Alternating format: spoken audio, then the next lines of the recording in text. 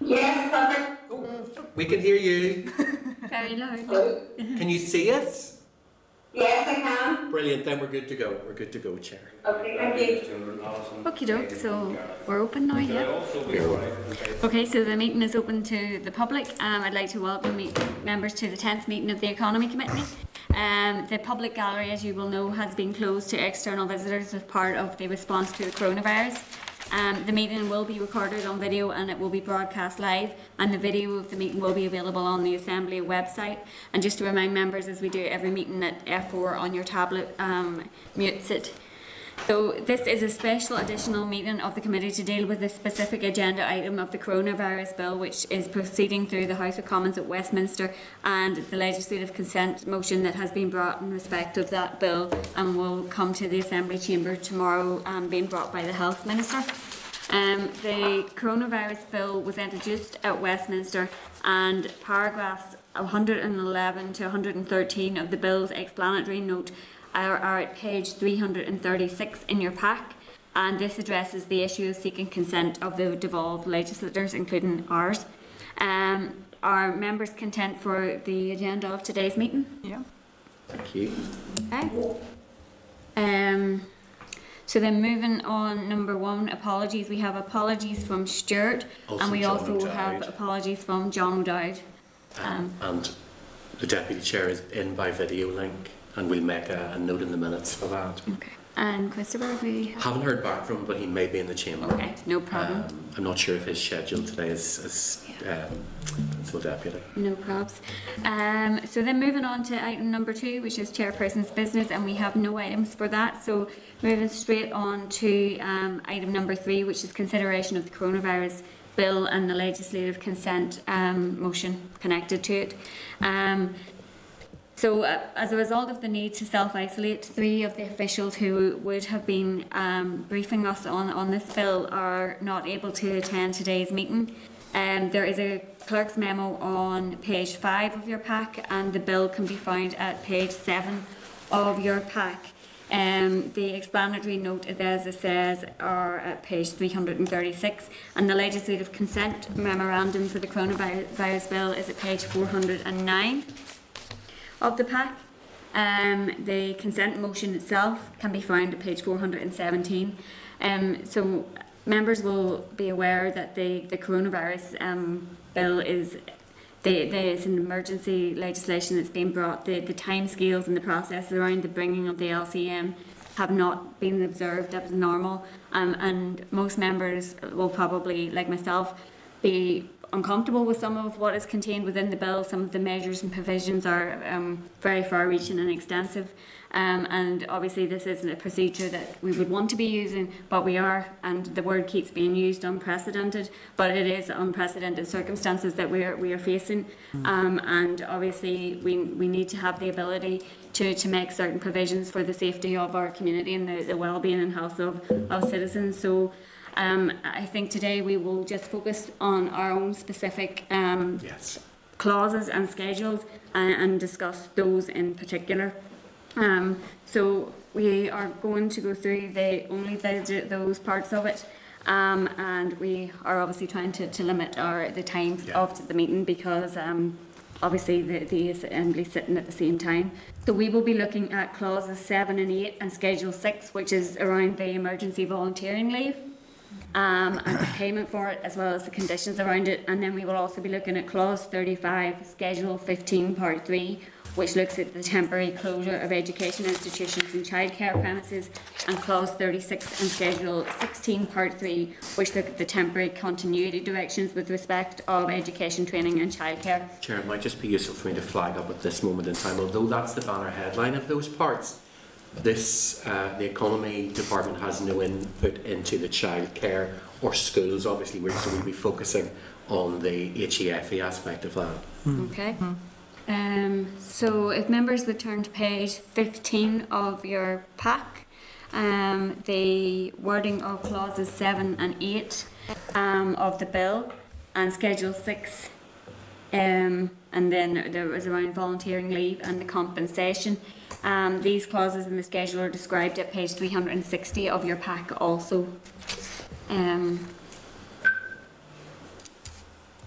And clause seven simply directs to, to schedule six, which makes provisions for the emergency volunteering leave, um, and sets out how payments will be made to emergency volunteers for their loss of earnings and for travel and subsistence. Um, an emergency volunteer will only receive compensation for loss of earnings as an emergency volunteer if they suffer loss of earnings that they would not have otherwise suffered. Chair, it also might be useful if I flag up now, because I've sought clarification from the department, is the department's understanding that payment um, for emergency volunteering will come via Treasury and that it'll be managed through the Department for Health as they're going to be the ones that will be managing emergency volunteers in that health and social care context. So that's just for clarification, Chair. Okay. Um, and uh, Peter, we had a, a bit of a discussion about this last week and We how did. this will actually So it, work. it will be, regulations on emergency volunteering will be brought out by the Department for the Economy. They can also be brought forward by the Secretary of State. This is the only devolved region where the Minister will still have that function. In England, Scotland and Wales, it will just be the Secretary of State that does it. But here, um, it either will be the Department of the Economy or um, the Secretary of State if they ask permission from the Department for the Economy. So the likelihood is that the Department will still make the regulations because then they will apply locally. If that is not possible, um, for whatever reason, and it needs to be done in a particular way or in a particular time scale, then the Secretary of State still has the power to step in and do that, but must have the Department's consent to do so. Okay, so these provisions, they allow, they set up the ability to be emergency volunteers and for a compensation scheme, but it doesn't actually action it, is that? The regulations will have to do that, and regulations for us will be by negative resolution. So, as members will normally um, expect from a statutory rule, we normally have those under negative resolution. So it means the regulations come forward, will commence, and then it has the, the, the assembly has the ability to annul those or pray against them, um, as would be normal in a statutory rule. So that's the process that there. Once the legislation is given royal assent, once it's into law, then they can proceed the, with the regulations, and that will come from the department. It's likely that there's going to have to be an awful lot of discussion, and probably it's already going on with the Department for Health, um, for the, the scheme regulations to actually be useful. Bear in mind that the emergency volunteering system will only cover health and social care. That's the only sector it applies to. So it's not for other things, but it's for that sector. Now, obviously, within that sector, you have more than just health professionals. You've got drivers, you've got all sorts of other people going on in health service and social care. So it will cover those contexts, but nothing outside that. But it is a massively broad spectrum. Um, as we go through, there, there's other bits and pieces that will clarify who does what as well. Yeah. So that there's um, there's things that the health minister has to do, then there's things that the economy minister has to do. That is all set out. So as we go along, we flag those up. Okay, so paragraph six, which is in page sixteen of your pack, highlights the kinds of systems and arrangements that can be put in place, including variations of cases, how payments are made, and limits on payments. Um, paragraph five then indicates how the payments will be funded, and Peter's already touched on that. Paragraph six outlines vouchers and benefits to pay for travel and, and subsistence. Paragraph 7 outlines the need for publication of these arrangements and for a statement to be laid before Parliament about them. So will we also have a statement We'd also get that, yes. the If, if the uh, minister's laying regulations, we'll get a statement in advance of that. Also, everything has to be published. Throughout all this, all orders, all directions must be published. Um, paragraph 8 defines then what an emergency volunteer is and the appropriate authority to certify them. The Department for Health is the appropriate certifying authority and emergency volunteers are to be deployed in health and social care settings and contexts. Paragraph 9 directs to Schedule 6, paragraphs 4 uh, to 31 to define volunteering leave and health and social care.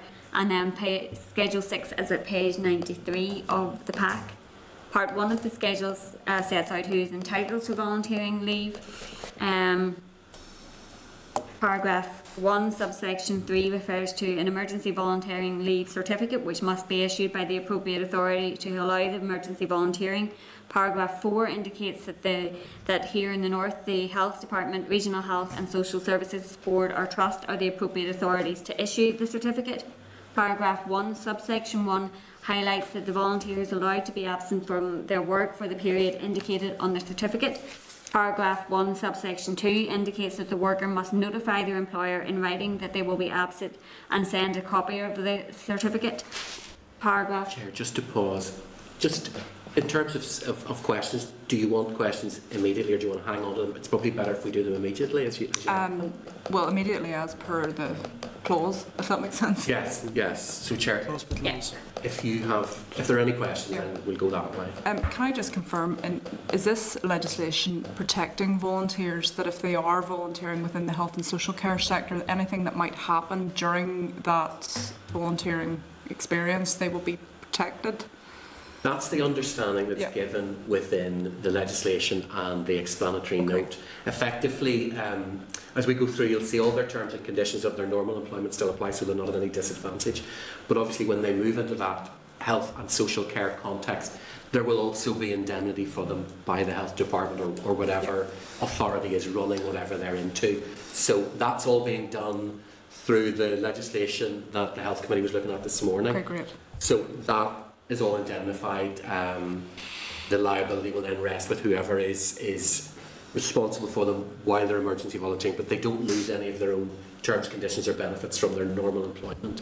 And you'll see how that expands out as we go along. Yeah, I suppose it was more of a concern around what happens if their actions lead to certain consequences or anything like that, that the Health and Social Care Board will protect them under their own workplace medical policies and all of that, Yes. so. All of the benefits that a normal health and social care person would have, in terms of that indemnification and liability and so on, will, will transfer onto this person, but their um, other terms and conditions, their benefits, their pensions, etc., will still stay with um, their normal employment, but will be taken care of by Treasury. Yeah, and the- That they, makes sense. um, they would be subject to the same, I suppose, protections around what they can and can't do, you know, like training, you know, be, be mindful or consider that they don't have training or they may not have the appropriate qualifications and, you know, what they can and can't do, I suppose. That was raised again at the, the health committee this morning, and the officials were indicating that yes, obviously appropriate training has to be put in place for these people. Okay. um, as volunteers who may not Yeah. necessarily have experience of the context before.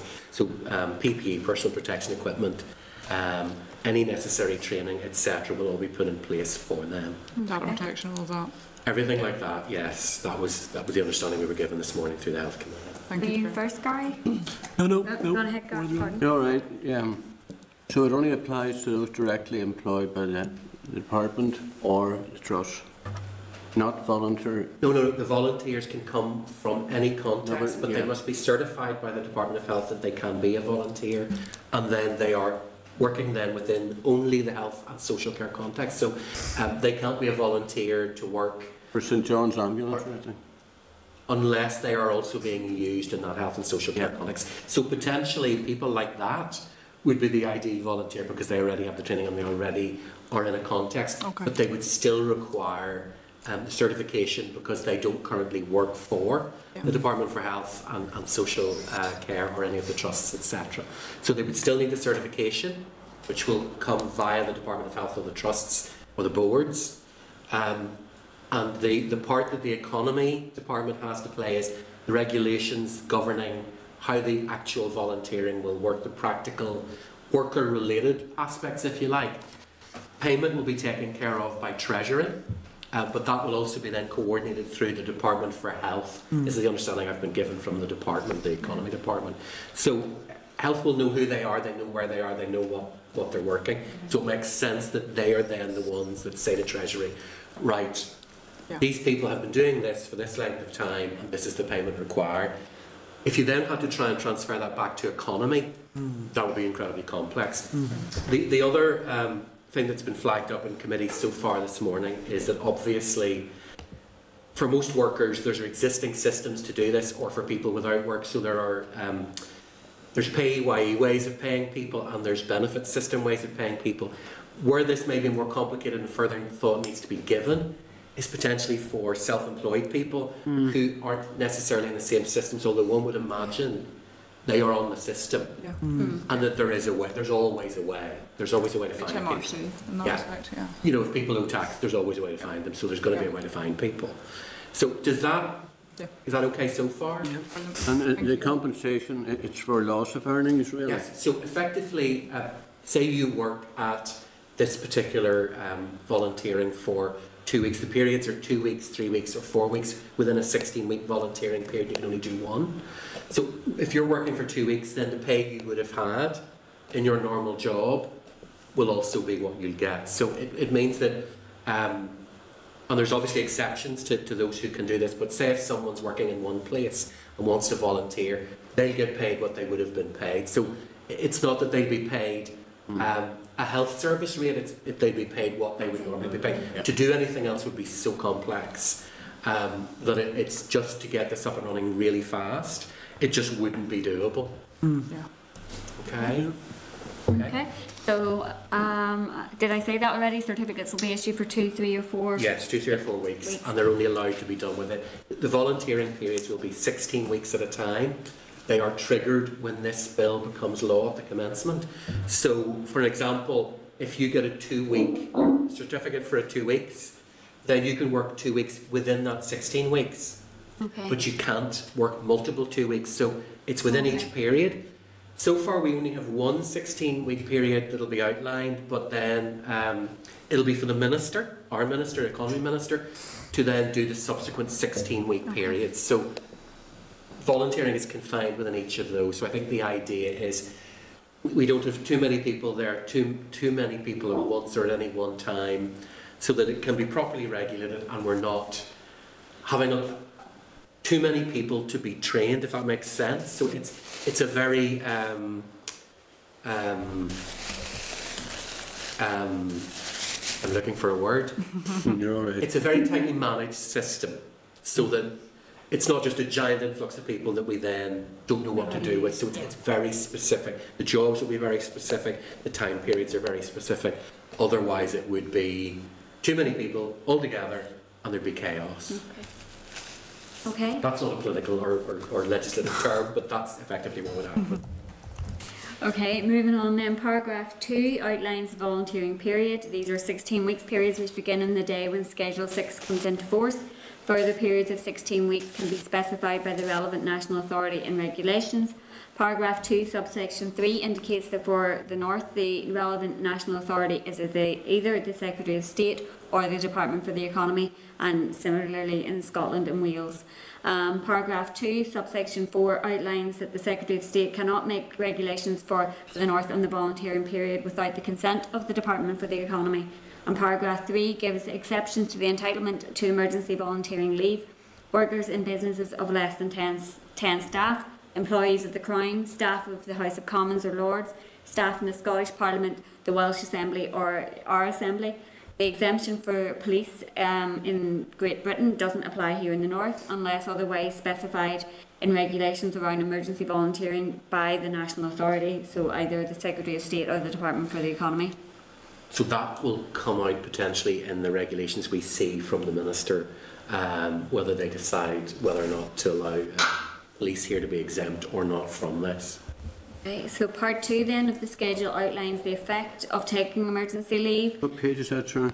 So Um, part two is. Please. Hang on, I'm just. Oh, part Oh two yeah, is it's the next bottom page. of page 95. Bottom of page thank 95. Um, so paragraph five indicates that any employee taking emergency volunteering leave will retain all of their benefits under the normal terms and conditions of their employment. Paragraph six gives the volunteer the right to return to the job that they left um, without any loss of seniority. And paragraph seven sets out the volunteer's employment-related benefit scheme doesn't include emergency volunteer. Sorry, if the employ the volunteer's employment-related benefit scheme doesn't include emergency volunteering, then it is to be treated as including one. Chair, if I just pop in there, you'll, you'll see as we go through this, there's a couple of um, very innovative um, actions in it. So one is a lot of um, benefit schemes for, for normal workplaces and employees don't really include things like emergency volunteering. So this legislation effectively says, now it does. Whether it's there or not, now it is. And that's by force of law, rather than it having to be written in To all of those employment schemes. So it protects the volunteer, whether that's in their employer's um, terms and conditions that they're allowed to volunteer um, for emergency situations or not. So it's there, protected in law, Okay. because that sounds a bit strange. So the subsections of that paragraph ensure that an emergency volunteer doesn't lose out on any benefits of the employment, including pensions. So part four of the schedule, um, which is page ninety-six, is it? Or no, Nope, further on, it's it's page. page ninety-eight at the bottom, 98, going on to ninety-nine. oh, no, yeah. Um, details the modification of the Employment Rights Order 1996 on a temporary basis for the facilitation of the emergency volunteering. Part 5 of the schedule is a general section that highlights how the schedule applies to agency workers and allows them to act as emergency volunteers. So Chair, just, just to jump in there again, members will be aware that we've had um, legislation over the last number of years giving agency workers more rights, which ultimately means they can be treated as a normal employee of a, or, or a, uh, the same as every other employee in a particular workplace. So it means they're protected if they also want to become emergency volunteers with the work they currently have. The fear would be for agency workers is that if they step out of a workplace, that's it, they, they lose that job. This protects them. So it means that they can volunteer too. It just it widens the pool. Uh, the, the other thing I wanted to flag up was the part four that says modification of the employment rights order. This is temporary, so unlike usual legislation where modifications are, are retrospectively written into legislation, that's not happening here. These are temporary modifications in this piece of legislation that work for a certain amount of time but are not being retrospectively written into the Employment's Right Order 1996. It's important to stress that because I know it's something members would be concerned about if we were wholesale rewriting legislation. This is a temporary rewrite that is not being retrofitted into the bill or into the legislation. Okay? Okay, so then um, page 102 of the pack, there are regulations. 34, 1, 2, and 3 set out how the Department for the Economy must make regulations. It can only regulate where it is within the Assembly's competence and would not require the Secretary of State's consent within an act of the Assembly. The regulations must be made by the Department for the Economy and will be subject to neg- negative resolution, so a prayer of annulment can be brought against them. Um, so our members, do members have any other comments on clauses 6, sorry, 7 and 8 and clause, schedule 6? Will and the volunteers be entitled to any uh, additional funding allowance or payments that may be given to existing employees within that department for carrying out obnoxious duties or something of that nature? Chair, that will be um, sort of, there are provisions for additional payments, there are travel and subsistence Oh, yeah. um, clauses that allow all that to be done through either benefits or through vouchers and any other issues. My understanding is, and, from, and this is largely from, from what officials have said, is that because these are volunteers coming in, the very specialist jobs will probably still remain with existing health and social care workers. So it's unlikely they'd be used for anything, as you say, um, Mr. Dunne, obnoxious or anything like that.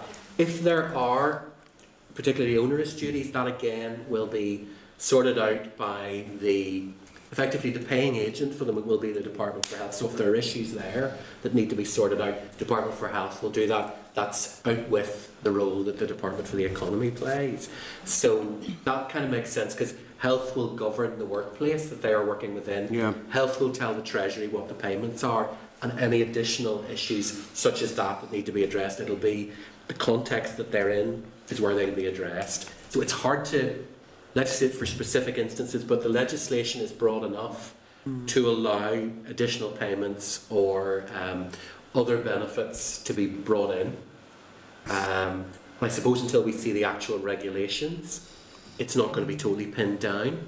So at the minute that's covered, but it- not in a very pinpoint way. Does the department become the employer effectively?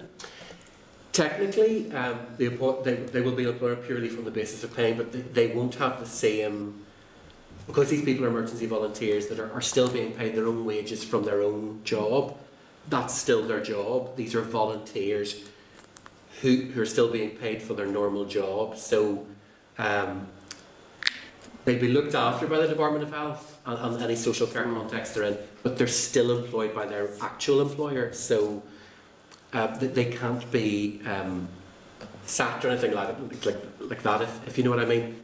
That just would stop their volunteering and they would return to their normal job. So th- there's no issues really there. that the Department for Health will, will necessarily have to be involved with. Chair. Chair. Um, can I ask, will that payment be subject to, um, will it be taxable? It'll be paid as normal unless there are other um, measures being put in place to suspend things like that. So my understanding at the minute is anyone who's still in a job, still working, and is still being paid normally won't necessarily qualify for um, payment holidays and anything particularly. That's just the situation that there was yesterday. Today's a new day. Yeah. Um, but as far as I understand it, the- the volunteers will be coming by and large, but not all, from already working somewhere else. Yeah. So they will be paid their normal salary with all the normal um, Okay. um, subtractions and so on from that. That's There our wouldn't understanding at the necessarily be additional monies on top of that which would, could affect their income. But potentially, um, that's where the ability to pay them for travel, subsistence, and other issues that arise like that will be put in place. So I would expect the regulations to go into that more specifically. Okay. At the minute, the legislation allows for it, but a lot more of the detail will be pinned down in the regulations. Bearing in mind, again, those will have to come before the Assembly Okay. and will be subject to negative resolution. So again, I would expect um, the committee will need to examine those to be able to say Okay. whether or not they're content. I'm not entirely sure how that process will be. Yeah. It won't be the normal sort of SL1s in a timely fashion, a 21 day rule and so on. So really that's what we've got our eyes open for now, is how the regulations play this out. Yeah. Peter, can I ask, was there any discussion this morning at the health committee around registers of volunteers? Yes. Or how this So will be that- operate? That's going to be a case of, because you get the certificate from the Department for Health, Social Care, trusts or boards or whatever, you need to apply to them to become uh, uh, um, an emergency volunteer. And that effectively starts you on your journey. So they will give you a certificate and they will tell you how long. So it'd be two weeks, three weeks, or four weeks. That will then put you into the system where Treasury will know about you and then you'll be able to be paid. And you, as it says in the, the legislation, you then need to notify, notify your employer in writing within three days of starting that you are now an emergency volunteer and send them a copy of your certificate. Legislation uh, means that they can't intervene on that. So you're an emergency volunteer, you're certificated, you're accepted in the system. That's who you are now and that's what you'll be doing. So your employer um, will accept that because that's what the legislation says effectively they need to be doing. So yes, all of those registers will, will begin to apply and it means then once someone has done their period of volunteering, and again this is still very much today, within the 16 week period they're, they're then going to be on a list and there'll be processes all in place for them to be doing that volunteering. So within another 16 week period, our understanding at the minute is they would be able to volunteer again for another two, three, or four weeks, depending on their availability or their willingness, etc. So, Can I ask the chair? Yeah. Go ahead, Sinead. Um, I just, uh, I don't back up, a bit, but I to kind of maybe get the reasoning behind um, the exception of the workers in businesses of less than ten. yeah, so that's basically. We've, can, can you still hear us? Yeah? Yeah.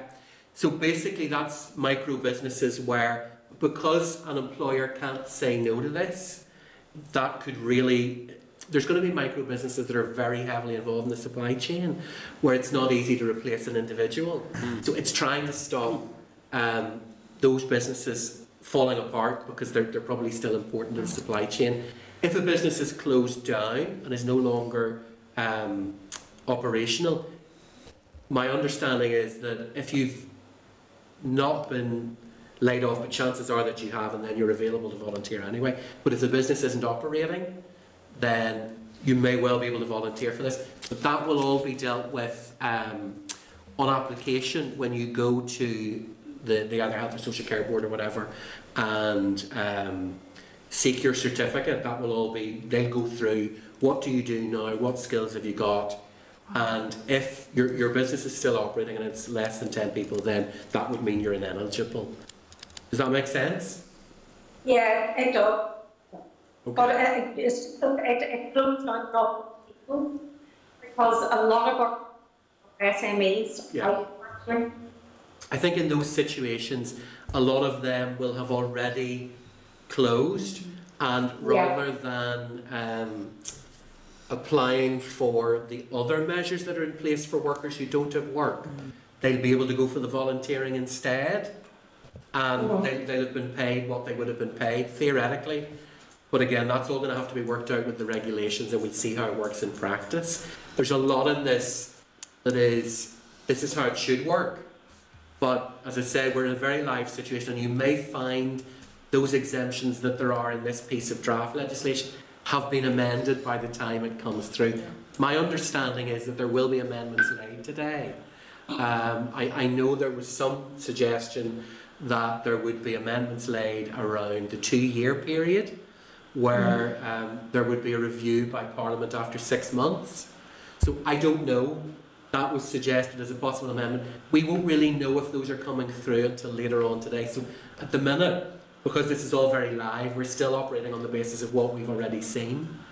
So what I'm saying is um, theoretical, but I, I, I actually, you know, I completely uh, appreciate what you're saying in terms of the um, the fact that we depend on micro businesses here, and I think that's definitely an issue we want to flag up to the minister if members are content. Yeah. We go back with that being a significant issue on this, and we feed it through then to the debate tomorrow.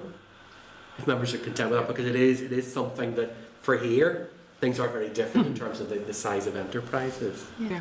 And you see, in terms of also the what uh, is determined to be health and social care, are tho- those defined in the other parts of the legislation? Just in respect for in the south, for example, they have a, a register of scientists. Yeah, my understanding is that was talked about a bit in the health committee this morning, and yes, there are registers, um, and, and you'll you'll be aware of the uh, request to bring people back out of retirement and so on. So all of that registration process is going to have to be done, but that'll all be done um, by the Department for Health, and, and it's obviously it's it's um, other bodies. We we won't have detail on that within economy, but yes, from what was being raised at the health committee this morning, that will be taken care of in terms of mm. registrations and so on. Obviously, people who are volunteering from other places are not necessarily medically qualified, mm. so it'll be a case of trying to skill match. Mm. So if, if you're maybe working in a business where you've been a driver, um, you can be redeployed within health and social care context as a driver in whatever way they need. So it won't need specific qualifications or, or um, registration. But if you are a medical professional, obviously that's something they would have to look into. Okay. I'm just a bit nervous about going into other departments. That would be my understanding from what I heard this morning. Okay. Um, but again, I'm assuming we get further clarification of that because it was was questions that were uh, raised by the committee this morning. Okay. So are members content then with the, the principles of clauses seven and eight in Schedule six? Okay. Yeah, Okay. Well, So- what we do then, Chair, is assuming you're you're you're able to speak tomorrow. That's a sounds like a very negative thing. We feed that through to what you're saying in the chamber tomorrow um, during the LCM. That everything's in principle. Yeah. So then if we all turn to page 166 of the pack, um, which considers Schedule 15 of the bill, um, deriving from clause 35 regarding the temporary closure of education institutions and childcare premises. Clause 35 can be found on page 36 of, It's just basically most of the clauses are just like one line. yep. So So the schedule is relevant to the Depart- Department for sorry, sorry, Chair. For education, economy and health. Yes. Um, and part three, the schedule is specific to, to here in the north. Yeah. Um, paragraph 15 deals with further and higher education institutions and therefore falls to the Department for Economy. So obviously members will be aware that universities and colleges here have already closed um, voluntarily. Obviously universities have the autonomy to do that and colleges are within the remit of the department. So our understanding is that's all been done on the kind of basis that's set out in the legislation. The legislation allows for closures on the basis of incidence or worry of transmittance, transmission of the virus. So effectively, the, the colleges have taken um, a decision to close on those on that basis. This legislation will cover that, but the colleges already had those sorts of abilities with the minister's consult in consultation with the, with the department and the minister, and that's already happened.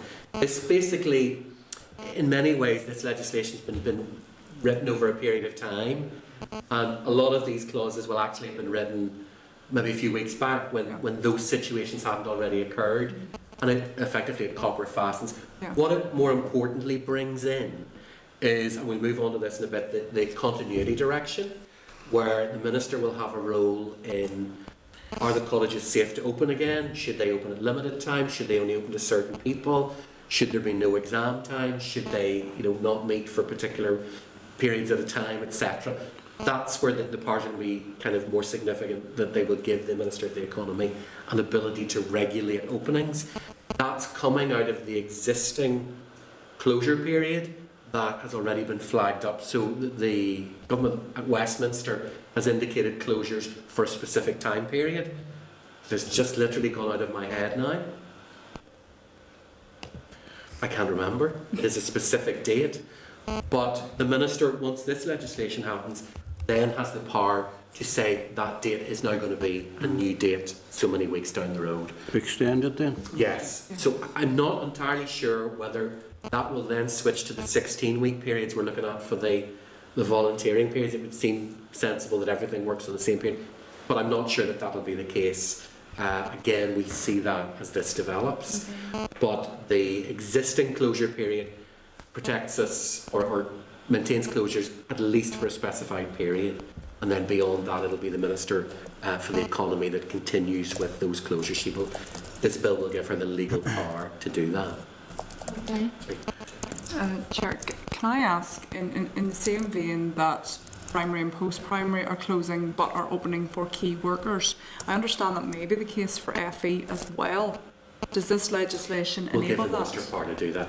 If I, if I highlight again, i- i- the, the effectively the continuity direction allows the Minister to say, you can open at certain times for these specific Okay. people. So it allows, if that scenario needs to be used. I know there's been a lot of discussion uh, over the weekend about some schools can't really facilitate the amount of um, key workers' children that they may need to. So there's some talk of bringing schools together or bringing them to somewhere else that can cope.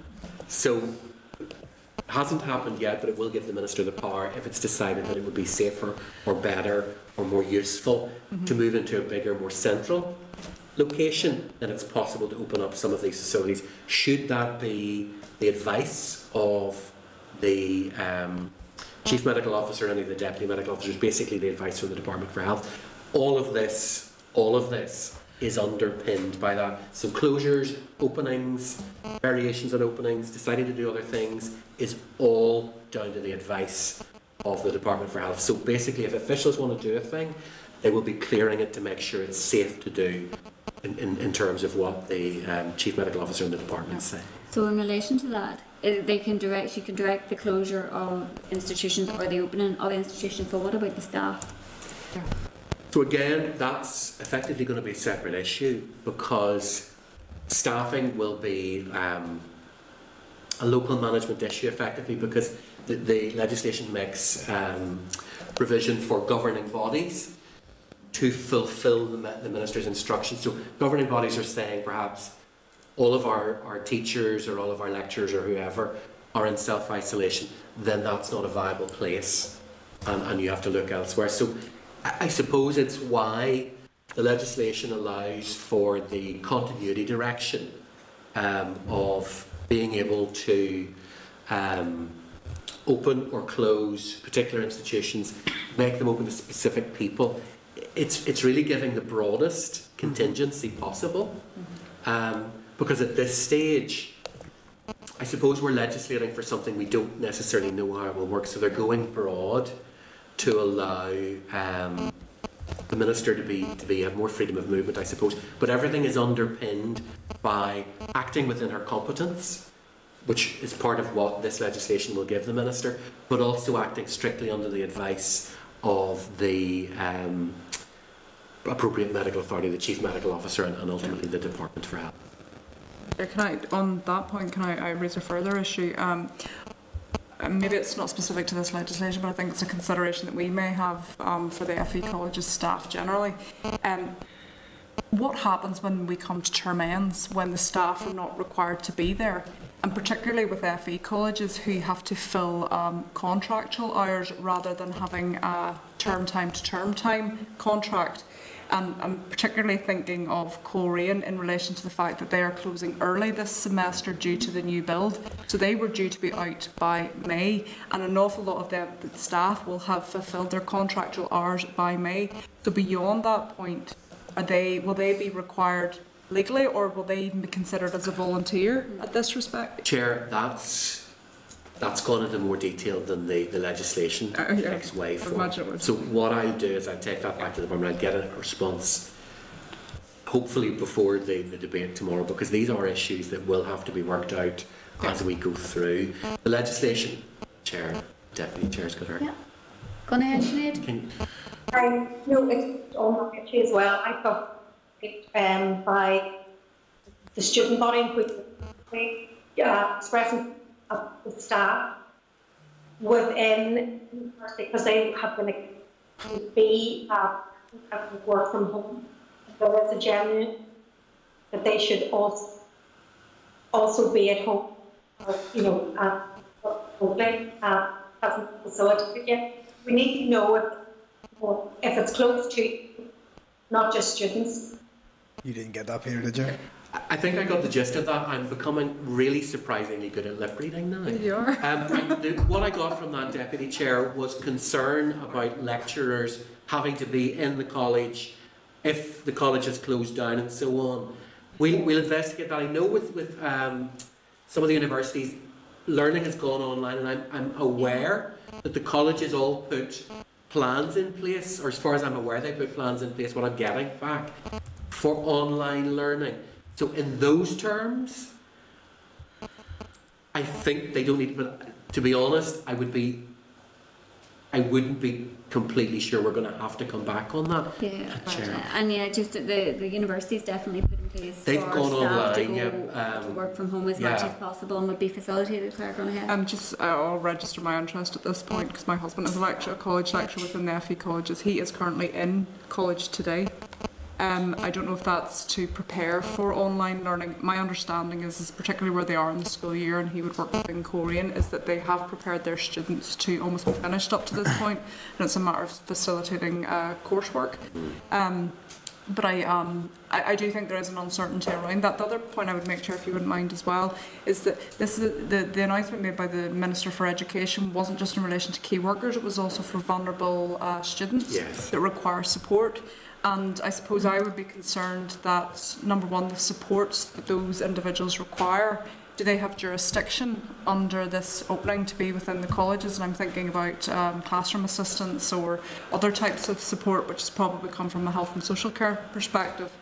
Chair, we're going to need to Yeah, clarify that. As Um, long as- I think that's the detail that is going to be really key. Yeah. This is all being worked out and regulated on. Um, yeah, the, the issue around vulnerable people, I'm just not honestly sure how economy's jurisdiction is going to work with that. So we'll go back and clarify that. And again, if we can't get an answer back to you, obviously all this is going to be flagged up to the department. So um, we'll expect an answer back from them, but I don't know if they're also then going to feed to the health minister so that Yeah. he can bring up these sorts of issues when we have the debate tomorrow. But we'll, we'll seek clarification on all these and we'll come back to members as soon as we possibly can. I know the department is looking in, so if, if, if they can start working on that, that would be incredibly helpful. Or even start to feed it through, because my email is open. Okay. So, par- um, yeah, so paragraph 15, subsection 1, um, gives the Department for the Economy the power to temporarily close further and higher education uh, institutions. Sure, if I can just flag up again, the temporary is to the closure date that I can't remember, but we'll find out for you. And then that will have to be organised again and again by the, the, the uh, minister once she has these powers. Um, it, it just means that it can be a forced enclosure, so it's, it's not um, that initial time period is worn off, we can now decide what we want to do.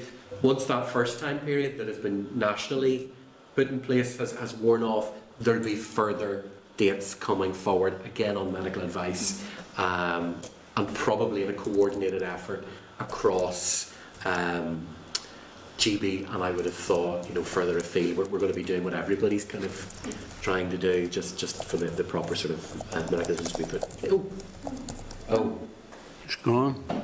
we're now four, so we're still quorate to talk and um, John shouldn't be sure. deliberate. Once um, Mr. Stewart comes back, we'll be able to go back to decision making.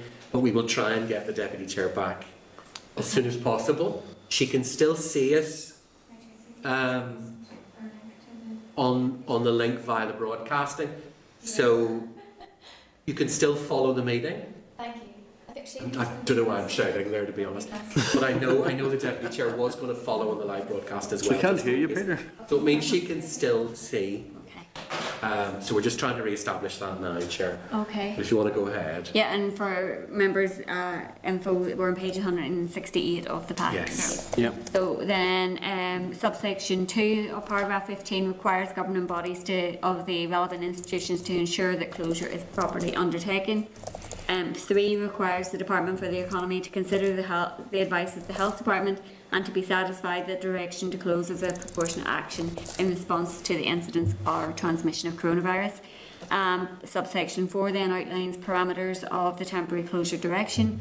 Subsection 5 indicates that the Department for the Economy must publish details of any temporary closure direction.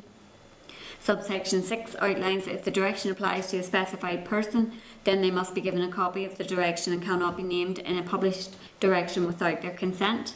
Subsection 7 outlines that the direction is only has effect until the end of the specified period or the direction is revoked by the Department for Economy. Subsection 8 details how the governing bodies of institutions must abide by the direction. Subsection 9 indicates that non-compliance by the body can result in the department seeking an injunction from the High Court. Subsection 10 indicates that the application for an injunction doesn't require prior notification to be made to the body. Subsection 11 outlines uh, definitions for the terms used in the paragraph. And um, then, do members have any other comments to make on Schedule 15, Part 3? No?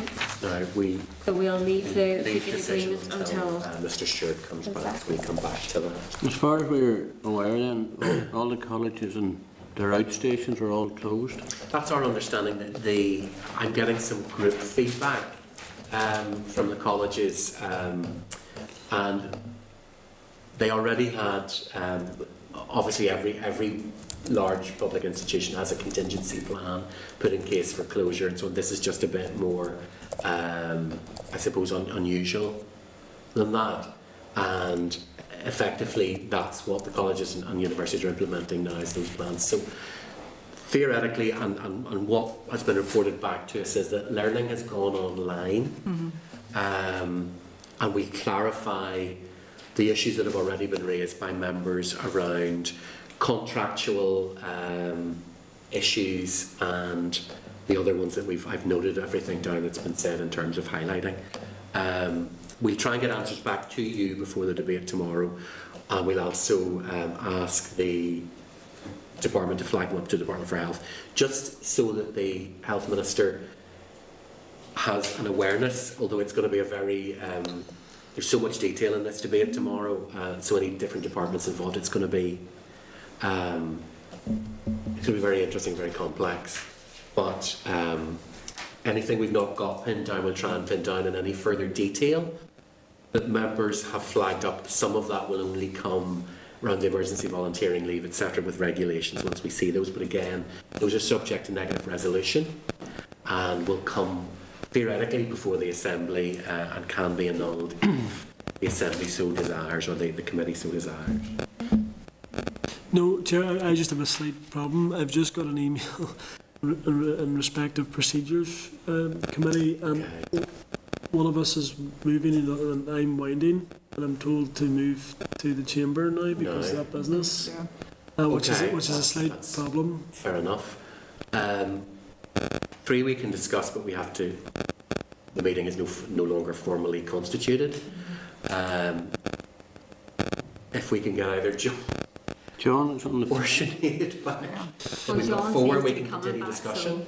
Yeah, Yeah. The problem is I think I have to be in, is that right? well, No, but yeah. uh, that is correct, I have to be in for the whole entire. Yes, because you're, you're, you're In one, so you pick up Winding with Derby. everybody else. Yeah, it it seems business has moved very, very quickly. Yeah, no, I think, I think that's the thing. I think probably there are the same number of questions or comments. Maybe we can pick the meeting up later.